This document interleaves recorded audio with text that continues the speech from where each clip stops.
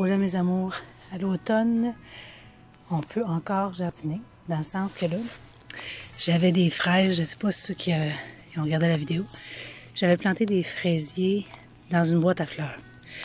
J'ai pas eu un gros succès. Je pense que c'était plus la terre. J'avais mis de la terre à jardinière, puis dans le fond, j'aurais été mieux de mettre de la bonne terre à jardin. Je vais transplanter au jardin. Dans ma section fruits, ici j'ai mes bleuets, mes camerises, mes fraises que j'avais plantées l'an passé. Puis on peut voir que j'en ai eu beaucoup. La seule chose, je vais pailler cette année. Je vais mettre de la paille parce que il y avait quelque chose qui mangeait. Donc, euh, toute cette section ici, ça va être de la fraise l'année prochaine. J'en ai plusieurs à planter, peut-être une dizaine. Fait qu'on se fait un bon trou. On met, là j'ai mis du compost marin et j'ai mis du fumier de poule pour la reprise des racines. Et je plante ça. À plus. Et voilà, mes plants de fraisiers sont plantés. Comme je l'ai dit, je, leur ai mis du compost marin, du fumier de poule. Et j'ai paillé comme faut. Comme je dis, euh, on va aller voir, j'en avais des fraises. Oui, j'en avais ici. il y avait encore des fraises, mais s'il y a quelqu'un qui peut me dire c'est quoi qui mange mes fraises, j'aimerais bien. l'année prochaine, au printemps, je vais rajouter de la paille sous mes fraisiers. Là, c'est plus pour les protéger. Ça, c'est mes bleuets, mes camerises. Fait que là, il me reste mes tomates à faire. J'ai encore beaucoup de tomates.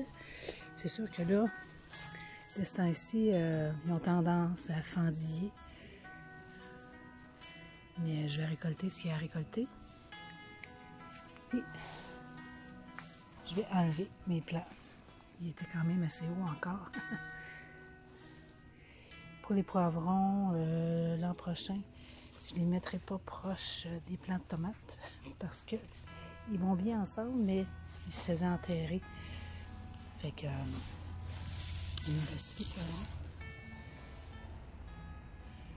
Donc on récolte. Puis euh, c'est ça, c'est vrai, je voulais vous dire, pour couper, comme là, il était dans une boîte à fleurs.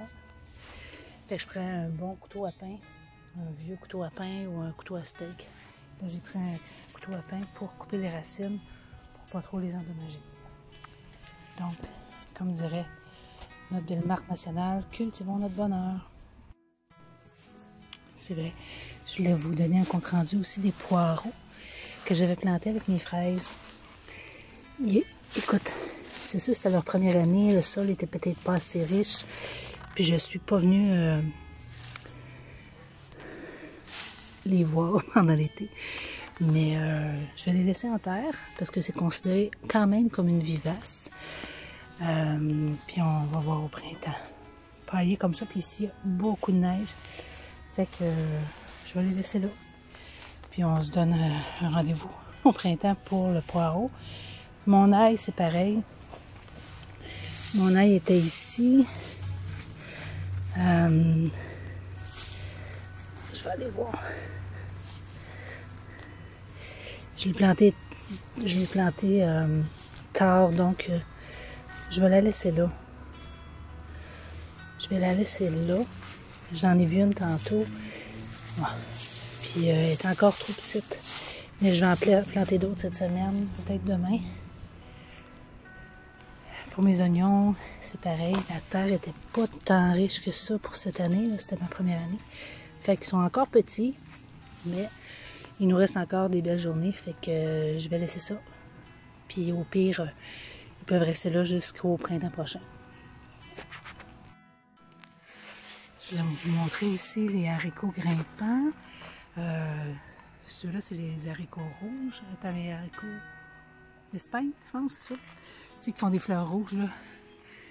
Ils sont vraiment gros. Puis mes haricots grimpants, j'en ai encore beaucoup qui poussent. Fait que ça, j'enlève pas ça tout de suite. Je vais récolter aujourd'hui mes derniers.